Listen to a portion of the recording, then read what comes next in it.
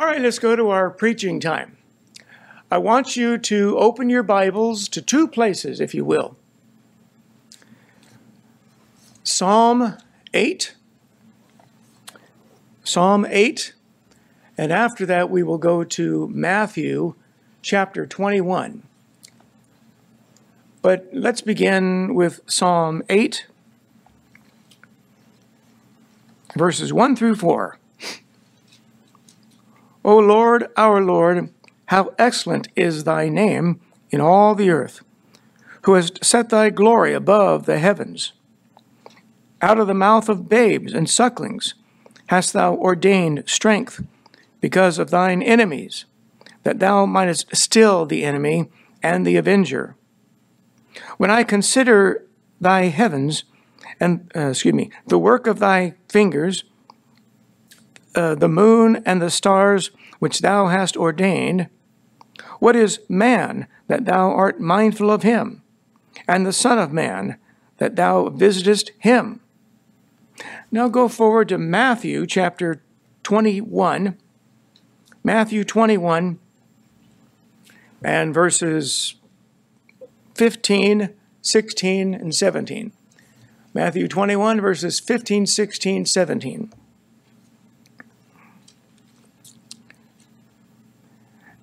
And when the chief priests and scribes saw the wonderful things that he did, and the children crying in the temple and saying, Hosanna to the Son of David, they were sore displeased, and said unto him, Hearest thou what these say?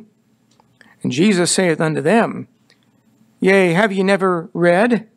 Out of the mouth of babes and sucklings thou hast perfected praise. And he left them and went out uh, of the city into Bethany, and he lodged there. When I was a kid, back in the 1960s, maybe the early 70s also, I have to confess, my sister and brother and I watched a lot of television. And everything that preachers would warn against, so much garbage and filth coming on the television in those days, they were right. And as years went by, I saw it begin to appear. We stopped watching. And uh, but those of you who get all of your information from the internet, let me say, the internet is the same thing, only you have quicker access to whatever you want and it's uh, the same filth multiplied by uh, 100 million. And I'm not kidding about that. I'm probably underestimating it. But there was a TV show um, which was like a live children's television show, and the host's name was Art Linkletter.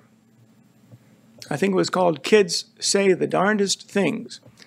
And uh, they would have little children, you know, on the show like contestants. They'd go to each one, ask them questions, and uh, see what kind of responses they'd get. And he asked a little girl about five or six years old, Honey, have you ever been in love before? And she said, No, but I've been in like. Which was pretty good for a five year old girl. And uh, all parents know that, that children utter some things beyond their own years. They say things, um, and sometimes the way they phrase it, it makes you want to laugh. You don't want to laugh in your kid's face, but um, every mom, especially moms, they record these things their children say when they're four, five, six years old, and long in there. Um, but uh, when my, and I can't preach this outline without invoking my own children to some degree, but when my son was small, we were looking through a picture book of the planets in the solar system. And I pointed to one and I said, that one's called Pluto. And he looked at another one and said, Is that one called Goofy? Of course, Disney's got their name brand in the minds of everyone, no matter uh, how old or young they are.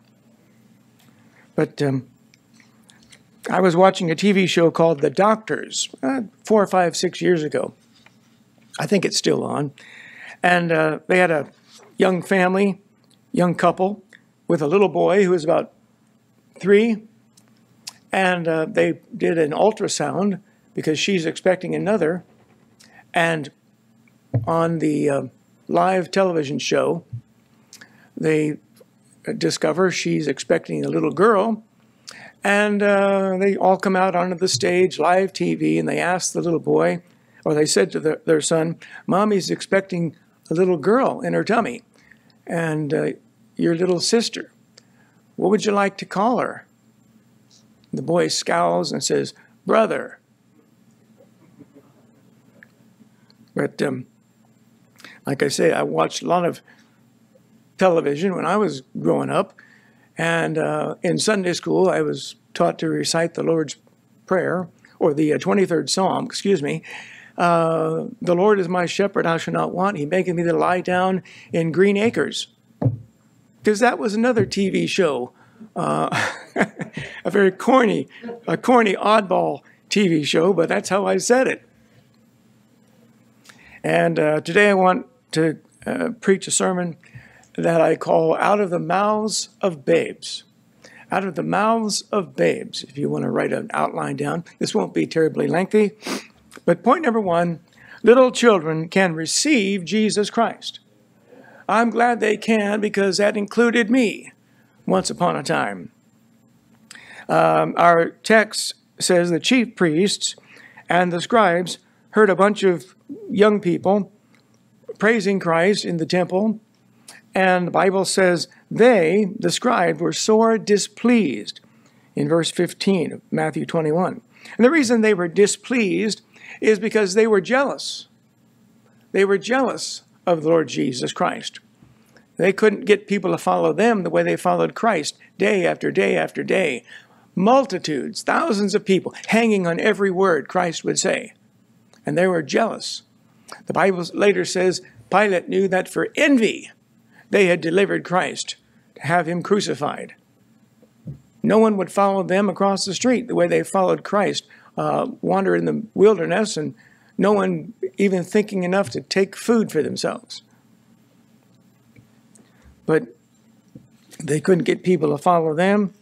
And uh, the Bible says, For jealousy is the rage of a man. Therefore, he will not spare in the day of vengeance. Uh, Proverbs 6 verse 34. Every unsaved cultist, every uh, unsaved Democrat, I mean, every, every unsaved politician knows that the secret to perpetuating their movement into the future is to gain control of children, young minds. The earlier they can do it, fine. Kent Hovind points this out. And uh, I, I never thought about it before, but he said, You pick up a picture book of uh, dinosaurs for aimed at three and four year old children, and uh, the first words in the books are a long time ago or millions of years ago.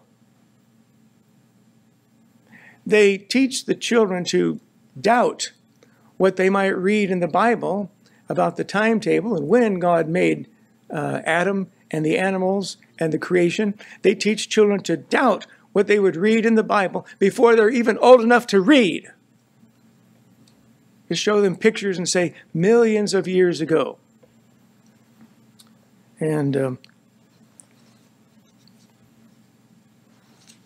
but when the Lord was asked by the disciples who would be greatest in the kingdom of heaven, uh, Christ set a little child in the midst of him.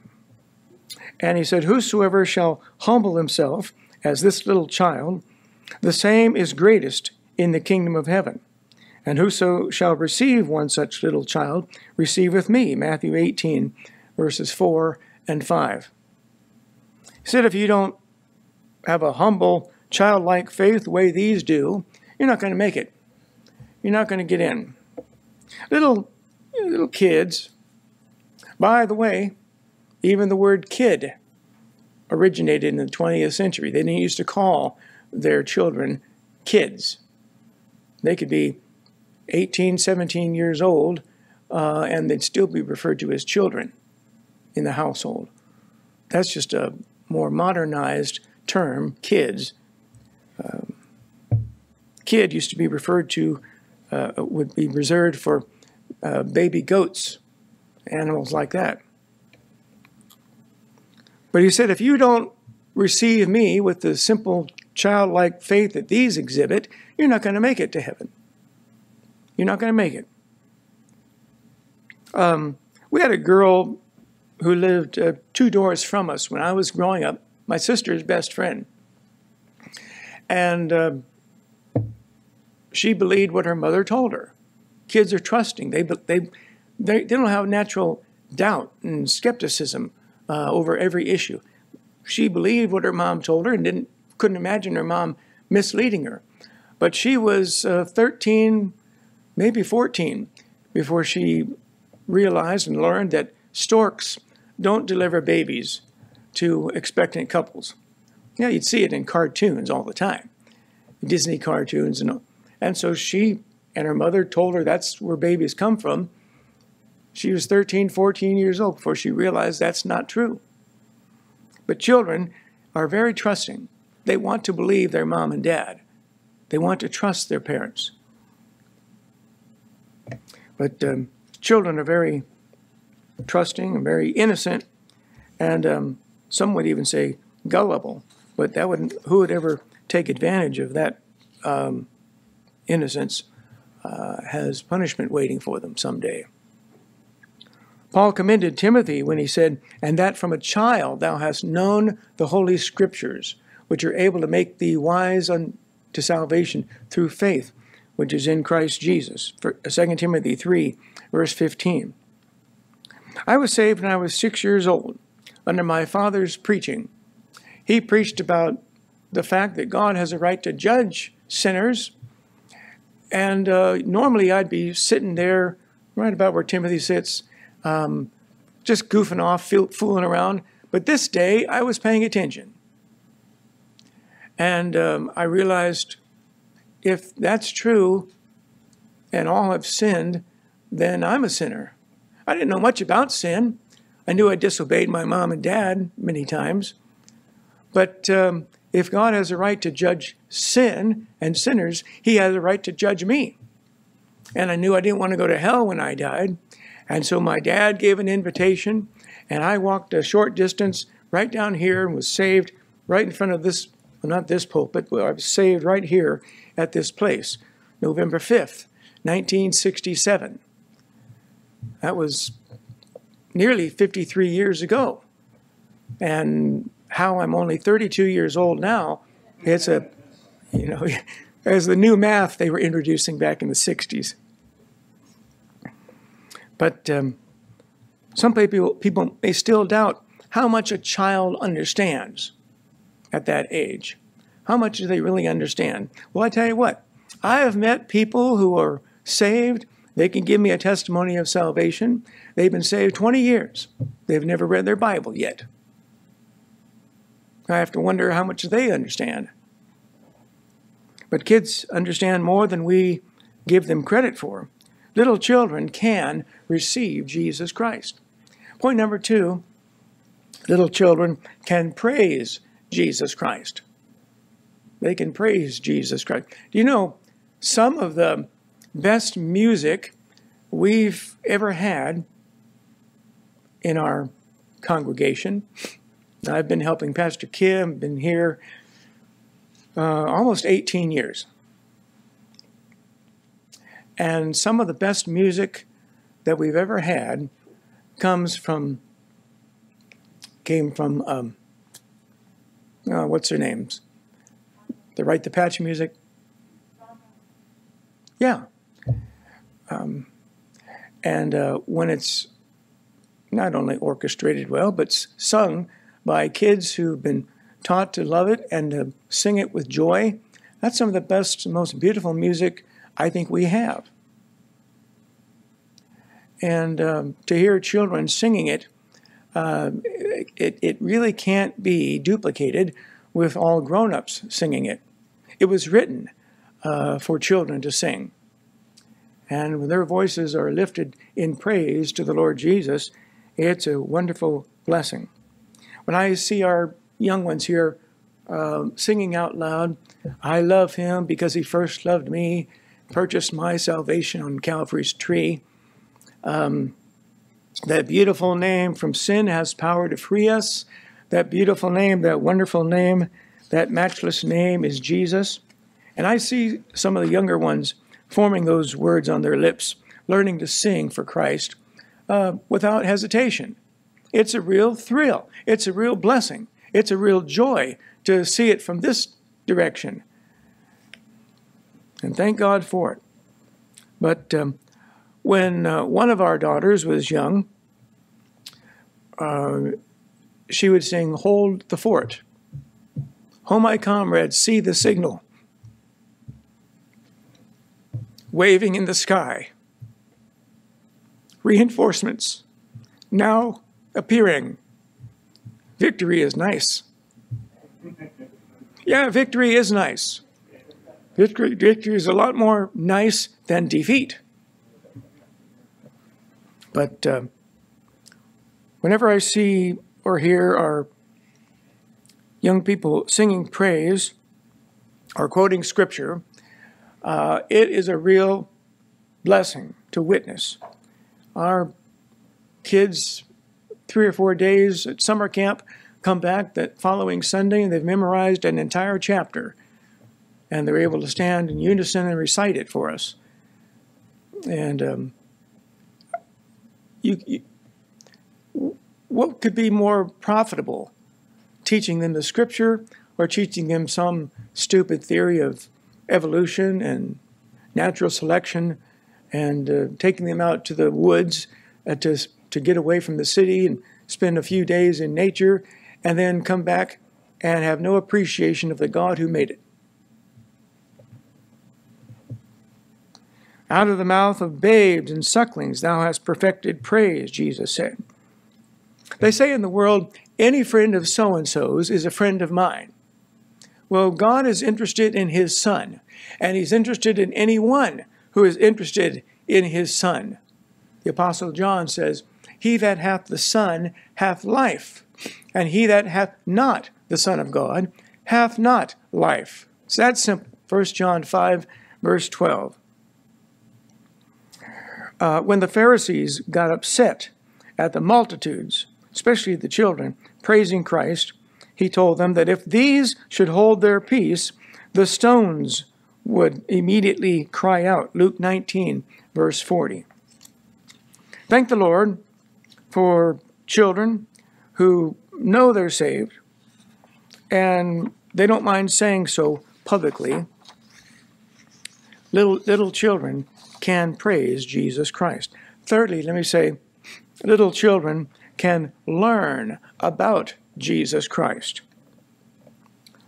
Learning to trust God from an early age, daily, one of the best character traits you'll ever adopt, uh, and the best one uh, your children can ever adopt. I've often wondered about children who are not exposed and given the benefit of the gospel and the Bible stories that, uh, that, that should be reinforced to be true. Every character in the Bible is based on a real person. The Bible doesn't waste your time with all kinds of fictional characters. The, the real action um, is based on real people in the Word of God. Um, Jesus said, Suffer the little children to come unto me, and forbid them not, for of such is the kingdom of God. Mark um, 10, verse 14. Our kids in Sunday school know a lot more than you'd realize, than you realize. D.L. Moody returned from a um, sermon one time and said we had two and a half people saved at the meeting. someone thought, well, two grown ups and a, and a child? And he said, no, two children and a grown up. The grown up's life is half over. The children, presumably, have whole lives yet to live for the sake of Jesus Christ. That's a good way to look at it. When Solomon wrote, Remember now thy Creator in the days of thy youth, well, it, it naturally assumes that young people are able to remember thy Creator. They're able to appreciate and praise God for what He is, who He is, what He's done, what He can do. Uh, when our when our son, he's not here, so it's okay for me to talk about him. He was about five or six. We bought him a little, um, like a Fisher Price plastic tape recorder. And um, I was walking down the hall and walked right past his bedroom door and heard him in there recording himself reading the Bible onto a tape. And I think he missed one or two of the bigger words, but that's okay. All grown ups do too. And um, he was right at the part where Christ was rebuking and reproving the scribes. Uh, he said the um, the um, re- re- reproving and rebuking the um, Republicans and sinners. That's actually pretty discerning. Republicans and sinners. And uh, I'm not even a friend of all Republicans or sinners. And I fall into both of those categories. Um, my brother in law, who is a very liberal Berkeley graduate, unsaved, but he paid me a very high compliment years ago. He said, Mike, you're probably the, the most conservative guy I know. I took that as a as high praise indeed. But I told him, you don't get around much. I can introduce you to some guys that are far more conservative than me. They scare me. But um, years ago, my two nephews, Jim and Jared, they were visiting here. Jim was about uh, nine, maybe he was nine, eight or nine. Jared, seven years old, perhaps. And um, Jim's in his, you know, mid 30s now, uh, making a career in the Air Force. But we were having Sunday school class, and Randy Chapman was uh, teaching the class in those days. And he asked, he said, we, we just got done singing Amazing Grace. And he asked the kids, Can any of you tell me what grace means. What does grace mean? And he raised his hand and said, God's riches at Christ's expense.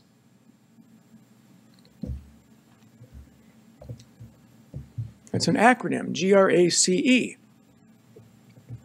And someone could say, well, that's obviously some answer he learned in Sunday school, and who knows if that was original or not.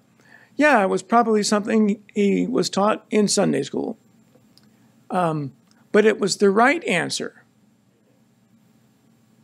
How is it that a lot of people, they can get 35, 40 years old, 45 years old, and have no idea where they're going when they die? They have no appreciation for the death of Jesus Christ and what it means to the entire world. So he was uh, maybe eight years old, and he knew the right answer God's riches at Christ's expense. And uh, yet, so many people profess to know Jesus Christ, and they couldn't tell you how to be saved or what the grace of God meant uh, if their eternity depended on it. And it probably will one day.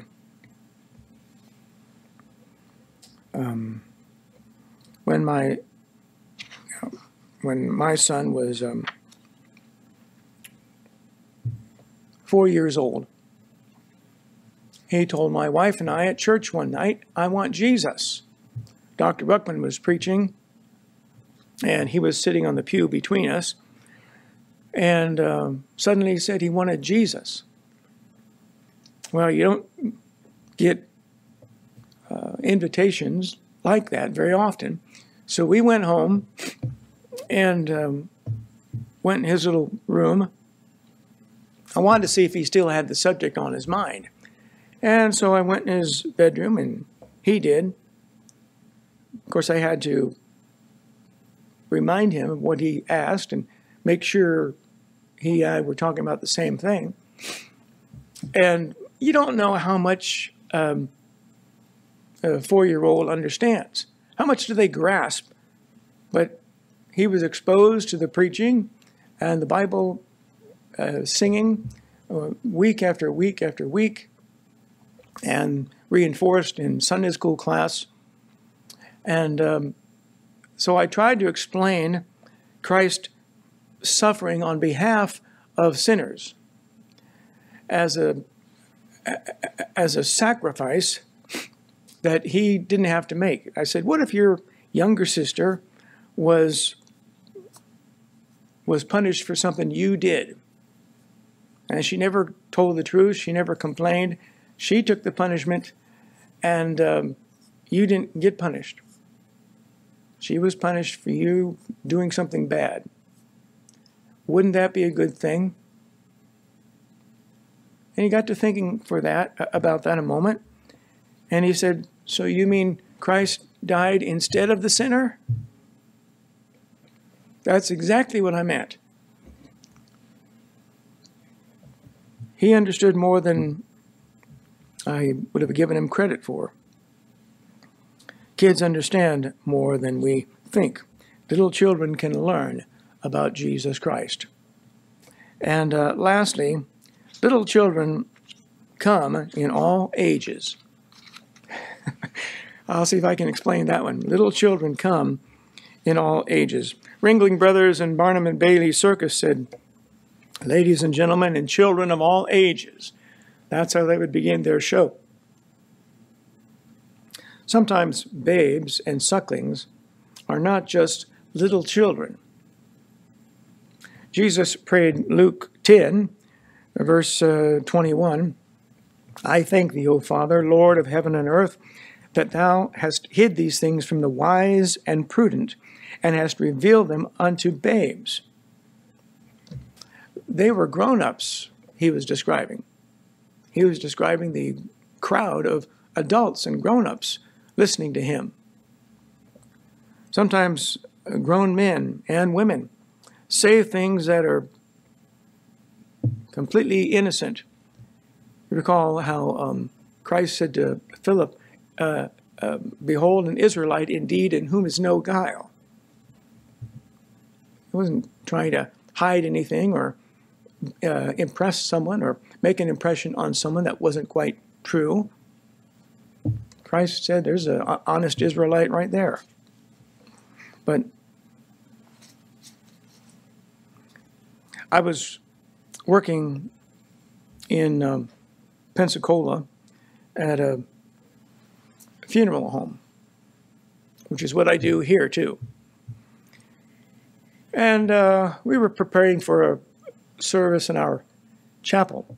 Crowds of cars pulling in. And I was standing outside by the entrance, and a guy comes in squealing his tires and slamming the car door and angry. And the guy standing next to me said, Man, that, that guy is as mean as a junkyard dog. He said, um, I guess it takes all kinds to make the world go round. I'm glad I'm not one of them. That's what he said. I'm glad I'm not one. What do you mean? Everybody's one of them. Everyone's one of them. You can't exclude yourself. But the way he said it was completely innocent. He didn't realize how silly it would sound. We were passing out tracts one night, it's been years ago, up at the market up here um, at uh, uh, Fourth and Grove. And Mexican lady came out of the store. We were outside passing tracts out, and um, I offered a tract, and she said, "Oh no, no, I'm not a, a Christian. I'm a Catholic." You couldn't have been uh, pure in the way you said that. That was the purest answer. You see, no matter what the rhetoric of the Catholic Church is, that we're Catholic Christians and uh, separated brethren and they're true Christian. No, no, no. The Catholic people know the difference. Especially some innocent Mexican lady whose English may be very limited, but she's here in America and she knows there's a difference between being Catholic and saying I'm a Christian. For them, Christian doesn't convey the sense of authority that the word Catholic does for them. That's too bad. But um, water baptism can never wash away your sins. It can never wash away the sin in your heart. Church membership can never guarantee that your name is written in the Lamb's Book of Life. And finally, let me tell you about a man I worked with when we were living in Florida. And his name was Paul Evans. He was a funeral director, and uh, he and I worked together. And there was there was a third um, guy we worked with. He was um, a part-time Southern Baptist preacher. Well, he I tried to witness to Paul, but I never could get any clear indication whether he was saved or he knew what it was to uh, trust God by, by Christ alone.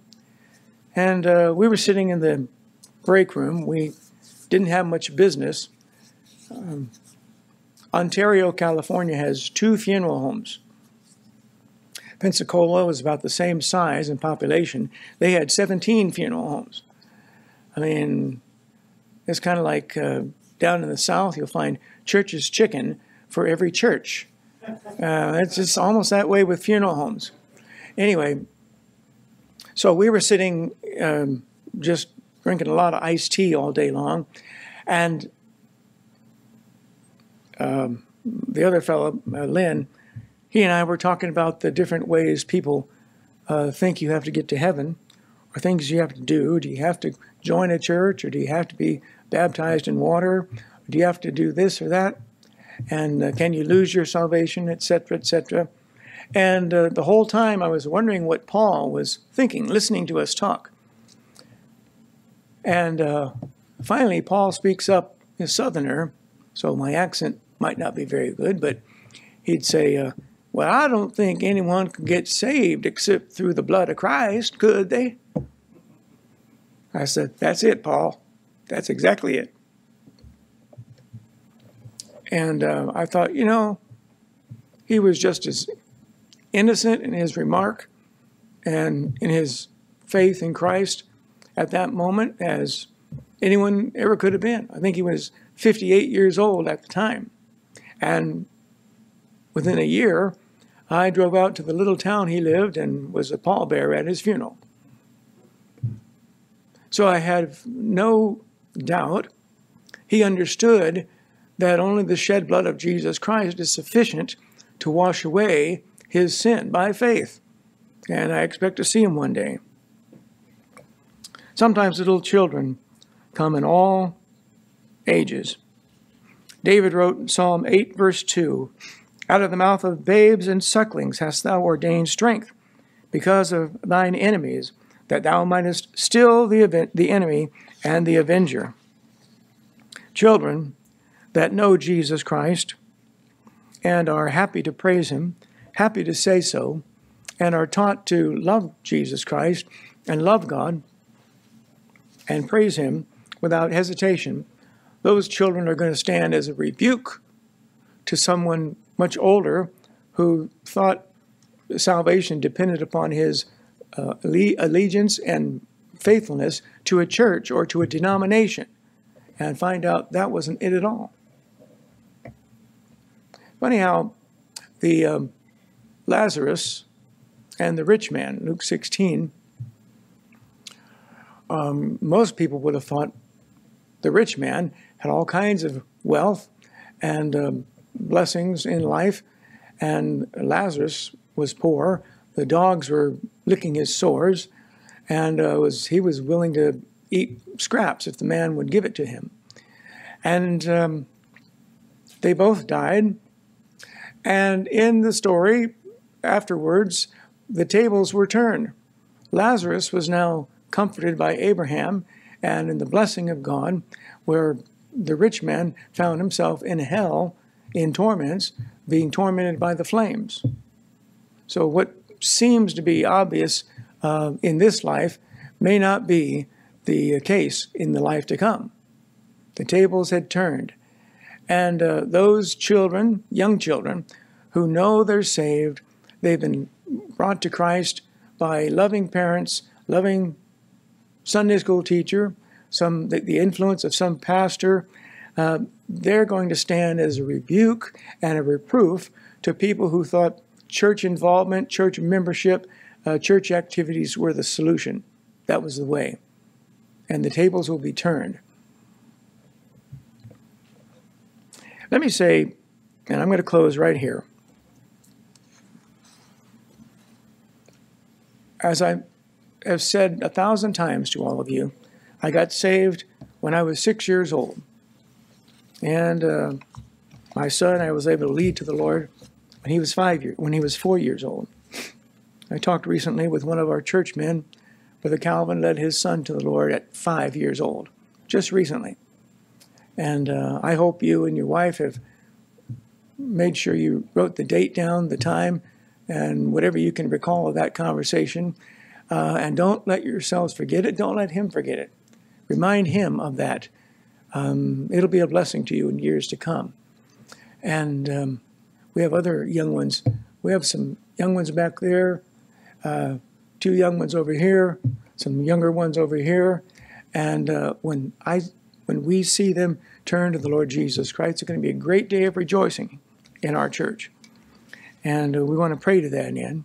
But uh, someone, some church whose children come through Sunday school at after, you know, first, second, third, even fourth grade, and they're not saved yet, is a church that's not doing its job. That's a that's uh, maybe even parents who aren't paying attention. They're not doing their job. Maybe the pastor doesn't know what to do. But it should be a simple proposition to lead young kids to a saving knowledge and a relationship with the Lord Jesus Christ. It really should be and uh, why it's overcomplicated by so many is a great mystery.